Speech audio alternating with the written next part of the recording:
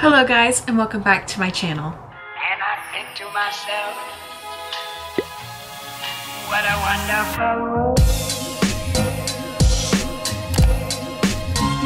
So today's video is going to be an inventory update plus a little announcement, which you probably already know by the title of this video. And if you follow me on Instagram at Hi It's Vicky, same way it's spelled here, you would know that I am about to start a no buy until SAS pretty much in June. So that's gonna be about a month and a half of a no buy. I'm not going to be buying a lot of stuff and so I'll get into that later but I do really want to do an inventory update. I haven't done one of these since February so I do kind of just want to keep you guys up to up to date and also like myself I need to go through this whole sheet that I have here and like really think about where my numbers are. Are they where I want them to be? You know, kind of like a quarterly check-in. Um, of where my numbers are at and you know if I need to step up my game maybe I am doing good, I'm on track. Um, so yeah, I just kind of want to look at everything and see where I'm at and update you guys on that as well. So let's go ahead and get into the inventory numbers. So I do have a um, spreadsheet and I will link mine down below, my spreadsheet that I use to track a lot of this stuff.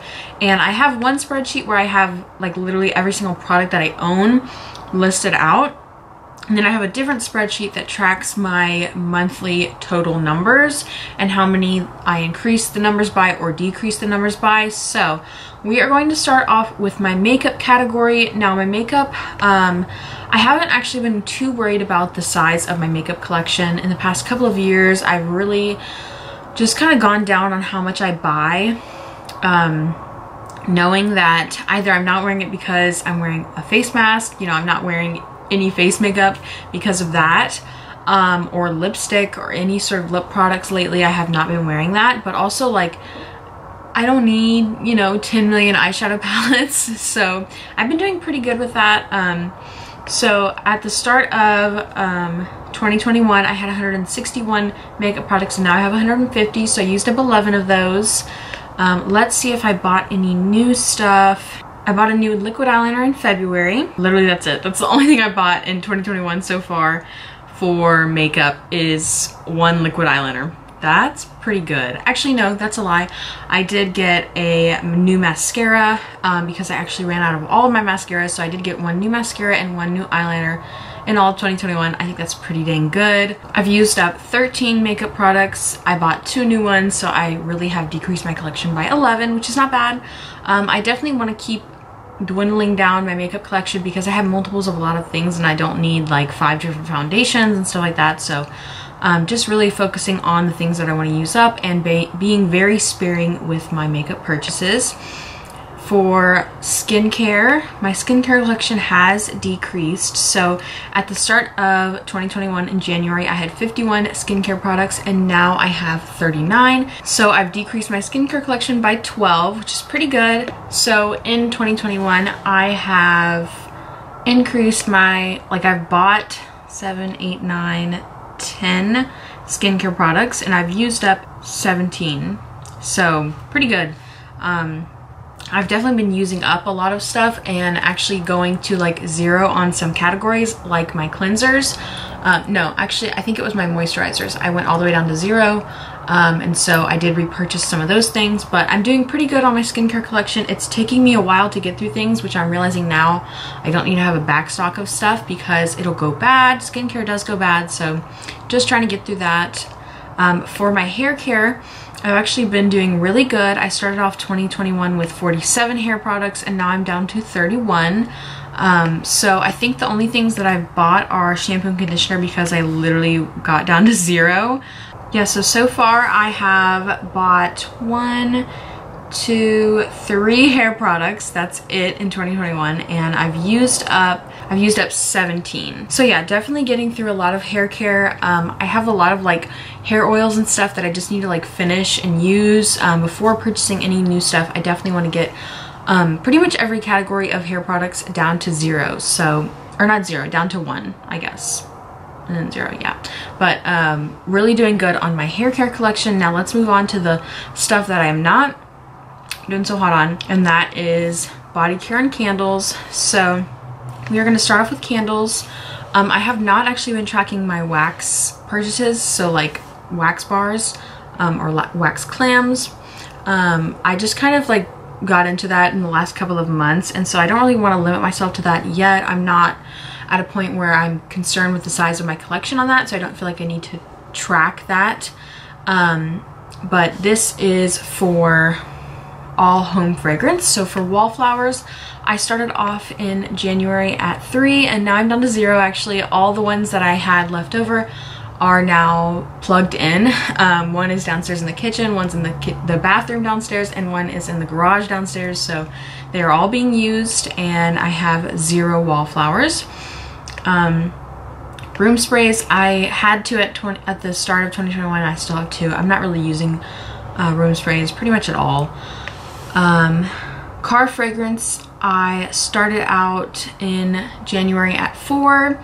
I used up three and I also purchased a few. So I purchased three different ones. So I'm still at the same number of car fragrance refills, which is okay to me because I don't really want to use ones that aren't in the season.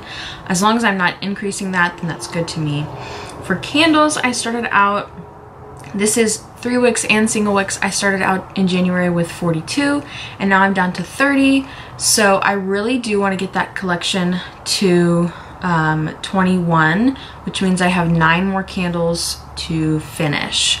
So that's going to be a little difficult. Um, I kind of want to do that before I start going crazy. Hopefully I can do that before the fall.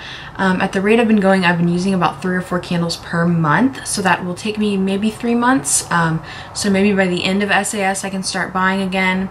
I really want to get that in a good place um, for when fall comes around again because I love purchasing fall candles.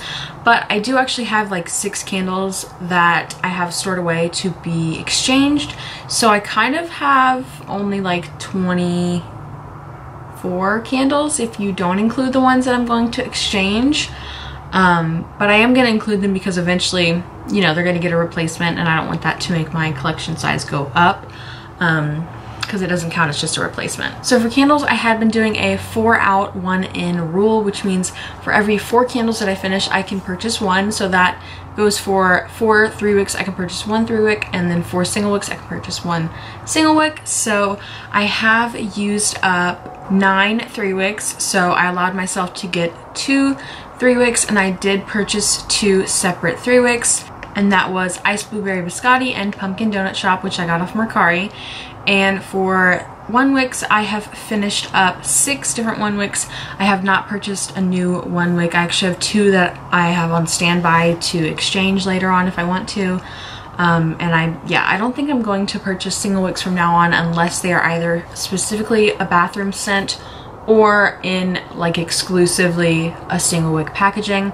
Otherwise, I would purchase it in the three wicks. So that's my new kind of mantra for single wicks, but for candles, I am doing pretty good. Um, I've been sticking to the four out, one in rule. I've been using them a lot um, and really getting my collection down to where I feel like it's a little more manageable. Um, once I get down to like 22, then I'll really feel good about where my collection is at and hopefully like not feel overwhelmed basically. So that's it for candles. Now for body care. So body care, Okay, I started out in January with 104 and now I'm only down to 90. So technically I've only used like 14 products, which is like really sad to me. Um, but I'm gonna walk you through what I finished. So I've finished one, two, three body washes and I've purchased two. So I really only decreased that by one. For body scrubs, I started out with four and now I'm down to two. So that was really good. I used up actually two, uh, one mini and one full size. And then for body oils, I started out with two and now I'm down to one.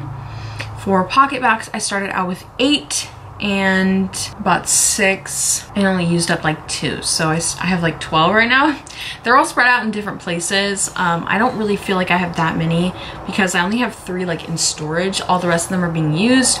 Kind of okay with where that collection is at. For um, lotions I started out with 14 and now I'm only down to 13. I've used up two and I bought one. So that's like my big problem here is I'm using up stuff, but I'm buying stuff too. So it's not making a difference in the collection. Um, for body creams, I start out with five. I used up one and I bought one, so I still have five. For hand creams, I start out with eight, and now I'm down to six because I did purchase one and used up three. For body mist, I start out with 17 and I've only used up one, so I'm at 16. For perfume, I start out with eight and now I am down to six. I'm doing pretty good on perfume.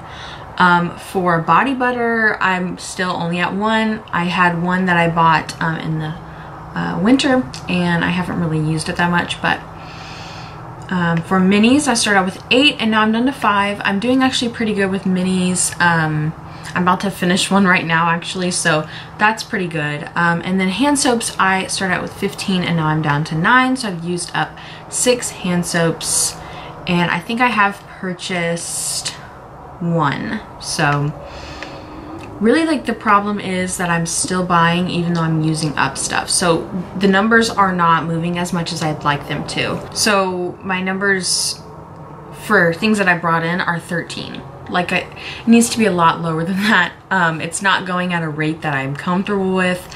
I really am feeling overwhelmed by the body washes, the um, lotions, the body mists, and kind of the body creams.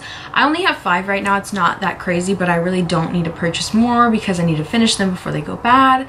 Um, so really, my thoughts for SAS are that I have too much stuff that I don't need to buy things. So uh, for the next month, I want to go on a no buy, no body care, no candles, no skincare, no hair care, and no makeup.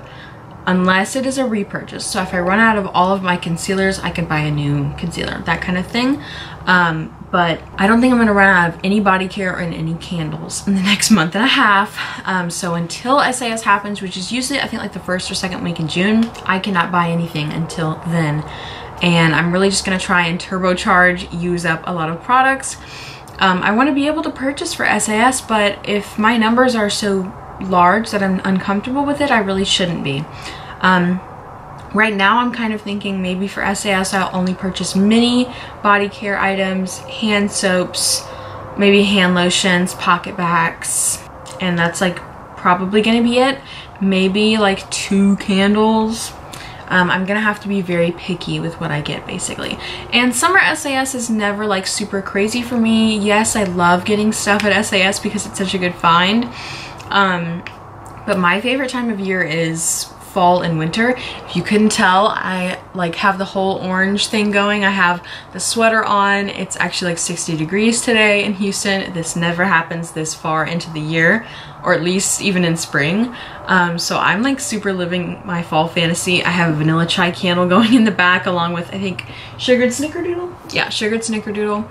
Um, so I'm living it up. But yeah, for now, I'm gonna try and get all these numbers down. Um, I'm just really uncomfortable with where my body care is at. I am using stuff and that's great, but I'm also bringing too much in. So I really need to focus on decreasing those numbers. I actually have like, I have two body washes that are almost done. I have a lotion that's almost done. Um, I have a body cream that I could probably finish the next month and a half along with another lotion. So like I have numbers that I can finish quickly um, pretty soon. So if I just focus on finishing those things and not bringing more things into my collection, then we'll be good. But for now, we're not getting things. Um, I do, however, have, like I said, six six candles on standby that I can exchange and I do also have a lot of body care that I can exchange as well. I think I have um, four lotions, three shower gels, and two body sprays that I can exchange and that's a lot. That's a lot of good stuff. So maybe if I find some stuff at SAS that I want to get, I can exchange things. um, if I need to, and that way my numbers won't rise. I will just be exchanging them for something else. Um, so I'm thinking that's what I'm going to end up doing. I also though am not sure if I want to keep all those exchange items for new fall stuff because fall is my favorite time of year and if I can get the stuff like right away because I don't have to pay full price for it if I do an even exchange then maybe that's a better idea. So let me know down below what you guys think I should do. Do you think I should keep all of my exchange stuff for when the new fall stuff comes out in like early August? Um, and just wait until then and then I can get the, the full price stuff before it goes on sale, the brand new fall stuff, or should I just start exchanging stuff now or during SAS? What do you think I should do? I have a few things that are on my wish list that I could exchange for, but at the same time, me thinking forward to fall, I'm so looking forward to it and I could see myself just like going crazy on like maybe August 2nd on my birthday and just going in there and buying all the fall stuff that's new. Um, so yeah, I could see either way going. So let me know what you guys think down below and let me know some um, numbers that you're really proud of. So what in your um, collection are you really proud of decreasing or maybe you're proud of increasing it. Who knows? Maybe you're just starting out with your um, candle collection and you're increasing it and you're really happy with where it's at. Let me know down below. I think my, um, my big thing this year is my hair care inventory and I'm actually very I'm very proud of where it's going. I'm getting rid of a lot of stuff. I used to have a full drawer of hair care products and over the last year, so 2020 included, I have just been like finishing off a bunch of old products that I didn't need to keep around for six years. So very proud of where my um, hair care inventory is going and yeah, very proud of those numbers. But yeah, that's everything for this inventory update and this no buy introduction. So wish me luck over the next month and a half. I know I can do it, so I just gotta stay strong. But thank you guys so, so much for watching. If you like this video, like, comment, and subscribe down below. And I will see you guys in my next video. Bye!